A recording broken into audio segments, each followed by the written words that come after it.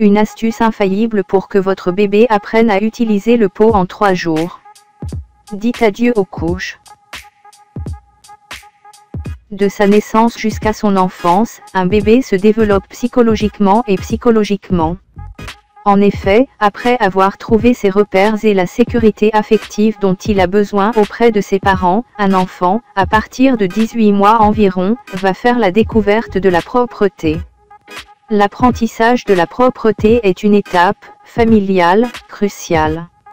Elle affecte autant les parents, angoissés à l'idée que leur bambin soit en retard comparé à la moyenne, que l'enfant qui fait ses premiers pas vers l'autonomie. Alors, pour vous accompagner dans cette étape, voici une astuce infaillible pour que votre bébé ait recours au pot en seulement 3 jours. L'astuce infaillible pour que votre bébé utilise le pot en 3 jours. Jour 1, tout d'abord, commencez par répartir plusieurs pots dans la maison, y compris dans la salle de bain afin que ces derniers soient à portée de main de bébé. Ensuite, réduisez les couches.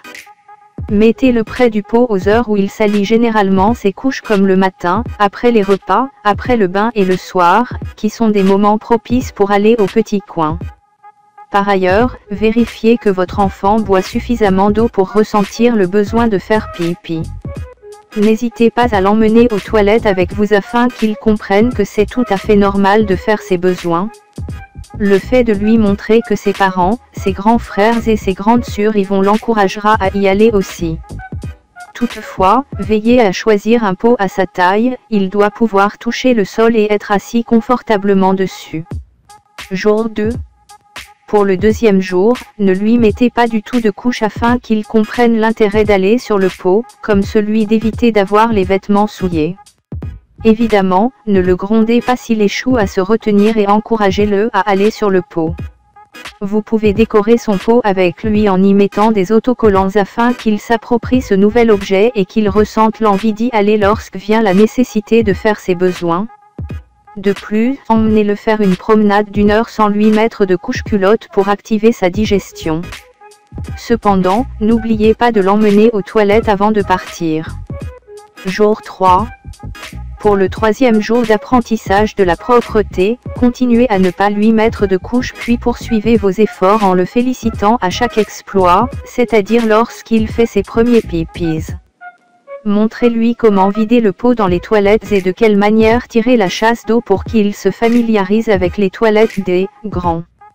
Faites de ces instants des moments ludiques qui lui permettront de s'amuser tout en découvrant ses capacités à se retenir. De même, expliquez-lui simplement les fonctions de nos organes et l'intérêt de faire ses besoins. L'apprentissage de la propreté à son enfant ne doit pas être source de stress pour les parents car l'enfant se sentira sous pression. Faites preuve de patience et n'insistez pas, de telle manière à ce que l'enfant s'autonomise naturellement. Par ailleurs, évitez les remarques négatives, notamment concernant la rentrée scolaire.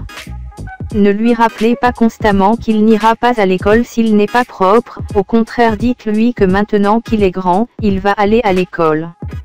Parfois, le simple fait de voir ses camarades de classe se rendre aux toilettes constitue